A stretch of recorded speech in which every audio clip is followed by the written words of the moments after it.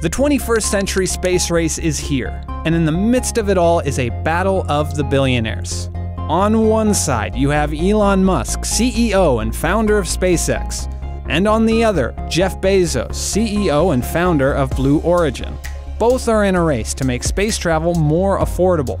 And as each company continues to grow and expand, that race is heating up.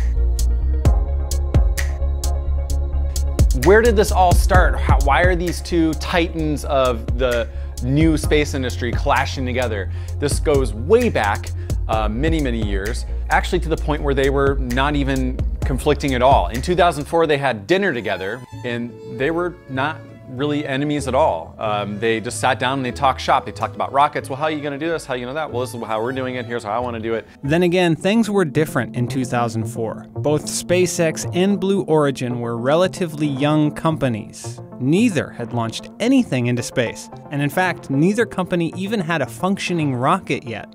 But fast forward many years after their systems started coming together and what you start to see is some rivalry, some big rivalry. One of the biggest flare ups started in 2013 over the historic launch complex 39A. After the space shuttles retired in 2011, NASA wasn't using the launch pad. And so they open it up for anybody who wants it. SpaceX steps up to the plate, says, We want that for our rockets. Look at them over here. They're launching into space, they're delivering useful things into orbit. We'd like to use that as a point of operation.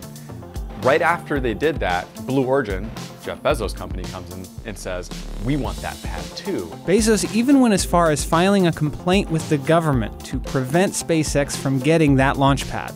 And Elon Musk gets really mad about this and he says, That's a phony blocking tactic. Uh, this is just kind of a bunch of BS. Safe to say the feud was officially in full swing. Ultimately, SpaceX won signing a 20 year lease for pad 39A in 2014. Then, later that same year, the two billionaires were at it again, this time over patents. Bezos had filed a patent for the technology to build reusable rockets, a tactic that could have earned him millions of dollars from competitors who aimed to use similar technology. But when Musk found out about it, he stepped in. And as part of his fight against this patent, because Musk wanted to do the same thing and he didn't want to have to shell out gobs of money uh, to Blue Origin, his competitor, to, to use this concept, was he summoned this very old, I think, Russian uh, science fiction movie showing a rocket coming down and landing on a boat. So that was used, I think, as evidence to sort of put the kibosh on this patent. And ultimately, SpaceX prevailed. By the end of 2015, the feud had made it to the world stage. Of course, I'm talking about Twitter. In November, Blue Origin launched and landed its suborbital rocket for the first time. Jeff Bezos is really excited. He goes on to Twitter and says, This is the rarest of beasts, a used rocket back on the ground. To which Musk congratulates uh, Bezos online, but he also takes the opportunity to sort of take a whack at this accomplishment by saying, yeah, it takes about 100 times more energy to do what we're trying to do, which is launch a payload into space and bring the booster back. That's, that takes 100 times the energy. So great job, but we're, we're gonna try this over here. And that's exactly what SpaceX did a month later. So this created some friction. This was one of the first very public feuds between Musk and Bezos, and it kept happening. So by 2019, the number of confrontations had reached a record high. At a private lecture in New York City, Bezos criticized Musk's goal to colonize Mars.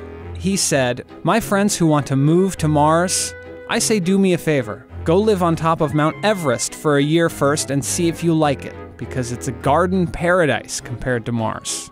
Shortly after that, Musk went after Bezos for announcing Blue Origin's plan to launch thousands of satellites into space for faster, better internet worldwide. The problem is, Musk had previously announced that called Starlink uh, years before, and it's 12,000 satellites.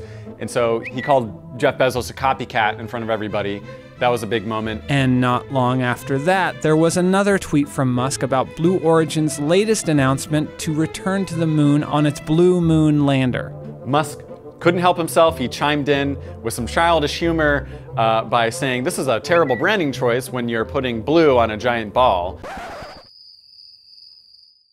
wow.